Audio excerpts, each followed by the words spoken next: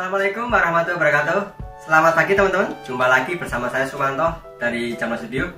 Di episode kali ini saya memberikan informasi kepada teman-teman Mengenai perbedaan pola instan dan pola jiplak Ini adalah di sebelah kiri saya ini adalah contoh dari pola instan teman-teman.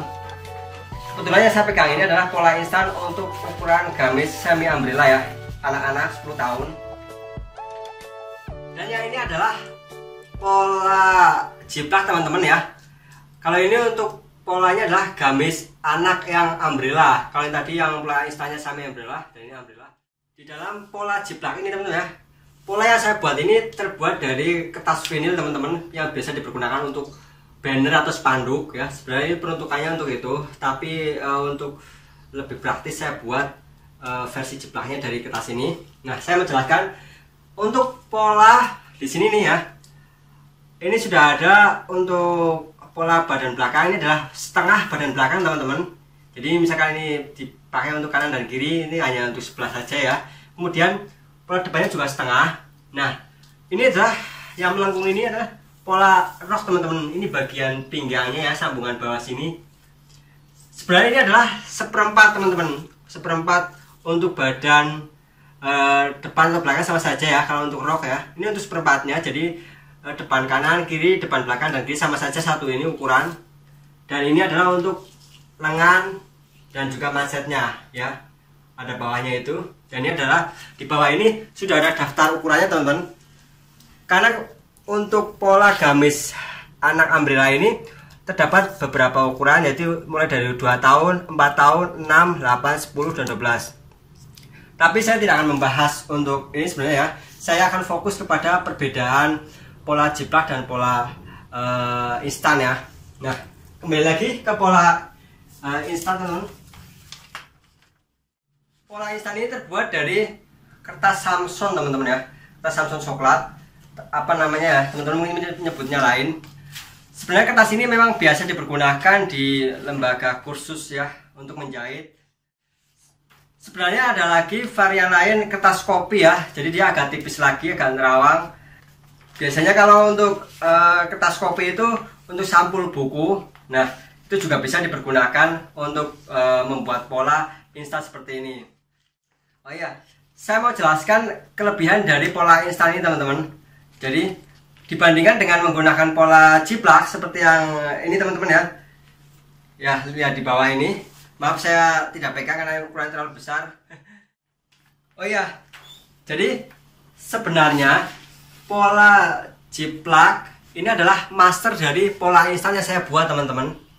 Jadi uh, misalkan sebelum saya membuat pola ini saya sudah ada ukuran ini ya. Walaupun saya tidak menjiplaknya dari ini karena saya membuat pola sendiri. Jadi teman-teman jika membutuhkan pola seperti ini teman-teman harus menggambarnya langsung di ini.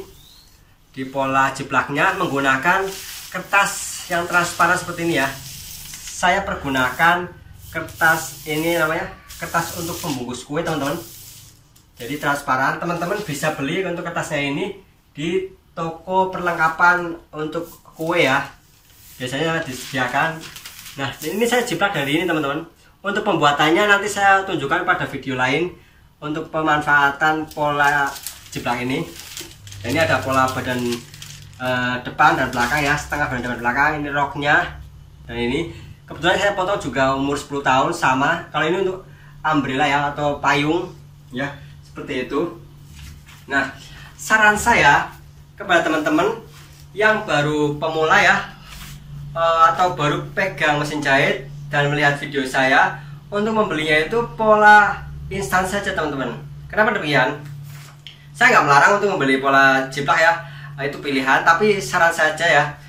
Kalau untuk buat teman-teman yang baru pemula dan tidak ingin pusing atau ingin instan membuat baju sendiri ya. Jadi nantinya teman-teman tidak direpotkan untuk membuat pola instan ini. Tinggal pilih saja sesuai ukuran ya. Misalkan butuh untuk gamis anak seperti ini ya. Oh, maaf satu. Misalkan teman membuat untuk gamis anak tinggal pesan sesuai ukuran ya. Satu saja misal kebutuhannya ya satu. Kemudian untuk kemeja juga untuk suaminya ya satu ukuran saja. Jadi teman-teman tinggal uh, nanti setelah dapat kan saya biasanya juga ada videonya. Teman-teman tinggal ikuti sesuai ininya ya instruksinya. Jadi tidak usah capek-capek membuat pola instan ini. Berbeda jika teman-teman sudah agak mahir atau kebetulan sudah menerima orderan ya tapi tidak ingin pusing-pusing menghitung ya karena untuk membuat pola juga lumayan pusing buat seorang pemula ya. Sudah setengah mahir silakan teman-teman boleh uh, saya sarankan menggunakan pola jiplak teman-teman ya. Pesan pola jiplak kelebihan dari pola jiplak adalah teman-teman itu bisa lebih hemat. Pertama uh, hemat kenapa? Karena dalam satu pola itu sudah terdapat beberapa ukuran biasanya. Kalau untuk gamis saya buat uh, 7 ya 7 ukuran dari extra small sampai triple XL itu udah ada. Kemudian lain-lainnya biasanya lebih hemat. Kalau untuk ini memang jatuhnya lebih mahal tapi kalau untuk satuan ya lebih hematan ini ya. Nah kalau teman-teman membeli pola ciplak dia itu karena terbuat dari kertas vinil yang agak tebal dia itu tahan lama teman-teman. Ya. Jadi misalnya teman-teman setelah membuat um, untuk sebagai master pola jiplaknya itu di, bisa disimpan lagi dan di kemudian hari bisa diambil untuk uh, dibuat instannya lagi ya. Jadi bisa teman-teman membeli pola untuk uh, jiplaknya itu. Jadi itu saran saya. Untuk pemula silahkan teman-teman pergunakan ini aja ya pola instan. Dan untuk yang sudah agak mahir silahkan pergunakan atau pilih saja pola jiplaknya. Tapi saya tidak memaksa hanya menyarankan saja. Oke? Semuanya sama ukurannya sama ya. Karena saya pergunakan uh, perhitungannya detail juga. Jadi biasanya kelemahan dari seorang pemula adalah di bagian lingkar kerung. Ini ketiak ini teman-teman. Jadi antara lengan dan ini tidak ketemu tidak sinkron. Dan kalau untuk pola jiplak saya juga pergunakan karena sistemnya menggunakan komputerisasi dan menggunakan aplikasi perhitungannya lebih akurat teman-teman uh, tapi dasarnya ilmunya sama saja ya nggak ada perbedaan itu hanya untuk uh, media saja oke Terima kasih teman-teman untuk atensinya. Saya pikir cukup sekian penjelasan dari saya. Semoga uh, membantu. Silahkan kalau ada yang ditanyakan, tanyakan saja di kolom komentar. Nanti saya bantu, uh, saya jawab ya kalau uh, ada waktu.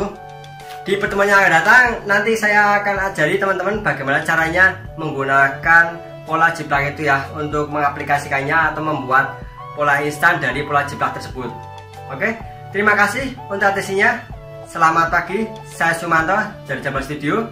Assalamualaikum warahmatullahi wabarakatuh.